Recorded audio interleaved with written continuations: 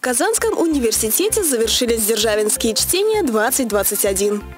Я очень рад, что Державинские чтения из чисто э, юридического аспекта, они расширяют свой спектр. На площадке Казанского университета состоялось заседание круглого стола на тему «Новая модель государственной регламентации образовательной деятельности». Новая модель заключается в том, что действительно старая модель себя изжила. В Казанском университете прошел круглый стол научного совета Российской академии образования, посвященный содержательным аспектам подготовки педагога к воспитательной деятельности. Проблема воспитания сегодня является одной из самых неопределенных, сложных для, не только для образования, но и для подготовки педагога для этого образования.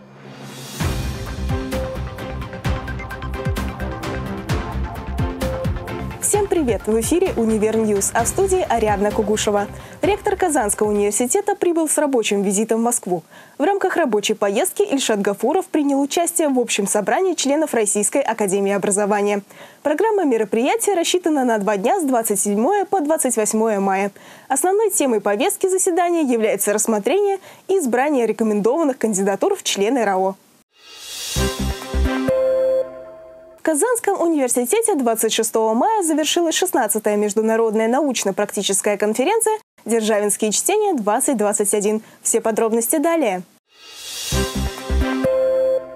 В закрытии конференции принимали участие ректор Казанского федерального университета Ильшат Гафуров, ректор Всероссийского государственного университета юстиции Ольга Александрова и заместитель премьер-министра Республики Татарстан Лейла Фазлеева. К имени Державина в Республике Татарстан относится очень трепетно и с его именем связана траектория успешного человека, траектория успешности, но прежде всего человека, который создавал сам себя. 25 и 26 мая в рамках прошедшего мероприятия ведущие российские ученые и преподаватели, их зарубежные коллеги, опытные практикующие юристы, аспиранты, студенты обсуждали широкий круг актуальных проблем совершенствования правовых институтов развития отечественного законодательства и правоприменительной практики. Итогом нашей конференции стали разработки предложений по совершенствованию законодательства –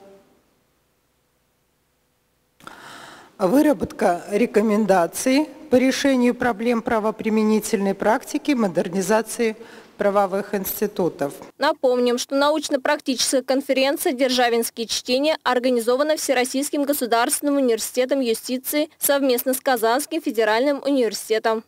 Я очень рад, что Державинские чтения из чисто э, юридического аспекта, они расширяют свой спектр и э, начинают все больше и больше отвечать на те ежедневные вызовы, которые, к сожалению, точно так же быстро возникают, да, как проходит время, в течение которого мы с вами провели вот эти чтения. Державинские чтения стали серьезной площадкой для выработки решений по целому направлению актуальнейших практических задач. Елизавета Никитина, Виолетта Басова, Ленар Давлетьяров, Univer News. В рамках 24-го фестиваля вузов физической культуры, проходящего в Казани с 23 по 27 мая, на площадке Поволжского государственного университета физической культуры, спорта и туризма было подписано четырехстороннее соглашение о сотрудничестве в сфере развития студенческого спорта на территории Республики Татарстан. В торжественной церемонии подписания принимали участие ректор Казанского федерального университета, председатель Совета ректоров вузов РТ Ильшат Гафуров и президент Общероссийской общественной организации «Российский студенческий спортивный союз» Сергей Сайранов. В рамках 16-й международной научно-практической конференции «Державинские чтения» на площадке Казанского университета состоялось заседание круглого стола на тему «Новая модель государственной регламентации образовательной деятельности». Все подробности в сюжете. На заседании круглого стола принимали участие руководитель Федеральной службы по надзору в сфере образования и науки Анзор Музаев, министр образования и науки Республики Татарстан Ильсур Хадиулин, ректор Казанского федерального университета Ильшат Гафуров, ректор Всероссийского государственного университета юстиции Ольга Александрова и другие руководители и представители образовательных организаций. Новая модель заключается в том, что действительно старая модель себя изжила. Для любого вуза, неважно это э, маленький негосударственный вуз или федеральный университет – это большой стресс значит, для не только руководителя был высшего учебного заведения, а для всех преподавателей в том числе – Руководитель Рособорнадзора Анзор Музаев подчеркнул, что новая аккредитационная модель будет распространяться абсолютно на все уровни образования. Ректор Казанского университета Ильшат Гафуров согласился с тем, что старая модель себя изжила и требует преобразований. Проректор по образовательной деятельности Дмитрий Таюрский более подробно озвучил ряд предложений от Казанского университета. Важно, чтобы все показатели, которые, как мы считаем, определяют качество образовательной организации, качество образования в ВУЗе, должны быть положительно скоррелированы между собой. Если положительной корреляции между ними нет, то либо какие-то из этих показателей с качеством напрямую не связаны, и мы или мы вообще не можем говорить о качестве как о единой характеристике. Данная поправка вступит в силу с 1 марта 2022 года. Уже имеющиеся к тому моменту у организации аккредитации автоматически станут бессрочными. Елизавета Никитина, Univer News. Подведены итоги 9 Всероссийского конкурса инновационных образовательных технологий национального рейтингового аттестационного агентства «Росрейтинг» «Лучший молодой преподаватель 2021». Лауреатами конкурса стали 56 участников. Среди них старший преподаватель Института вычислительной математики и информационных технологий Казанского университета Рустам Бурнашев. В рамках Международного форума по педагогическому образованию ИФТ-2021 состоялся круглый стол научного совета Российской академии образования, посвященный содержательным аспектам подготовки педагога к воспитательной деятельности. Подробности далее.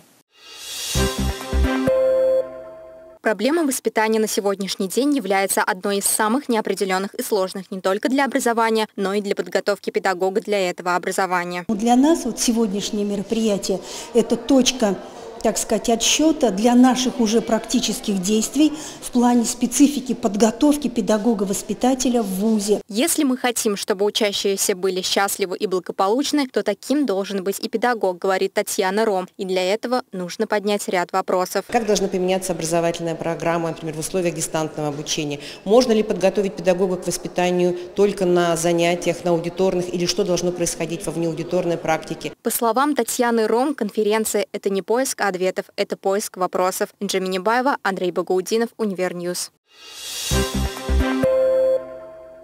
Студенты Института филологии и межкультурной коммуникации КФУ встретились с актерами театра драмы и комедии имени Тинчурина. Встреча прошла в рамках проекта «Театр Тинчурина плюс». Такие мероприятия проводятся ежегодно и стали традицией. Актеры и студенты собираются после каждой премьеры, чтобы обсудить спектакль. Встреча с э, театральными артистами и со студентами о спектакле «Как э, мотылек летит на пламя». Очень бурное обсуждение, как э, у нас была организована встреча, то есть специально сыграли этот спектакль для студентов ФМК, они посмотрели, и сейчас идет обсуждение, вопросы какие возникли, только ведь у нас студенты не только как, как учителя, а также есть журналисты, есть и другие ИФТ-2021 продолжается. В рамках данного мероприятия прошло пленарное заседание в гибридном формате онлайн и офлайн, где докладчики выступили с видеопрезентациями. Одно из направлений касалось опорных точек, которые являются центральными для организации воспитания в современной школе, а также другие актуальные вопросы. Также после заседания прошла специальная сессия к 30-летию российского общества Януша Корчака, на котором присутствовала одна из самых ярких представителей данного общества и создатель самого устойчивого и многолетнего проекта интеграционного лагеря «Наш дом» Ирина Димакина. В 2019 году ей вручили Международный орден «Улыбка». Российское общество Януша Корчика, как это не немыслимо, было, оно родилось... Э, в Израиле во время семинара Корчиковского. Эм, мы были э, в такой кибуц Лохамейха где-то вот, и познакомились с огромным количеством обществ Корчика, и кроме того с учениками, выпускниками. Некоторые ведь остались живы. В тот момент еще 74 человека были живы. Вообще-то они погибли в 1942 году в Треблинке и Корчик, и его коллеги, и дети. Около 200 человек это было. Вот. На этом все. В студии была Ариадна Кугушева. Сюжеты из выпуска ты сможешь найти в наших социальных сетях, а также на сайте телеканала. До новых встреч!